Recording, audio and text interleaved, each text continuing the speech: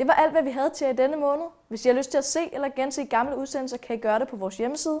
Adressen er stv1.dk-op. Vi slutter af med en billedreportage fra Val Thorens. Vi er tilbage igen i april på gensyn.